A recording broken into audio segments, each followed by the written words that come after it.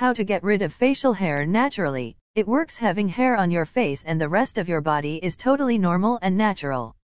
Women, however, normally have thinner hairs and you can't see them as much in the same places as men. In some cases, women can suffer from excessive, thicker hair growth in unwanted areas. When this happens, women endure expensive or uncomfortable procedures to remove the hair. The good news is that there are some home remedies to help remove unwanted facial hair. In today's video, we're going to show you a very simple recipe that uses turmeric, which has tons of health benefits.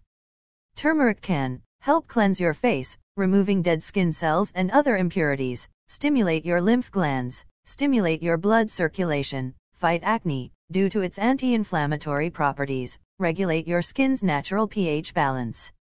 This recipe really is super efficient at eliminating excessive hair on your face. Try it out and tell us what you think.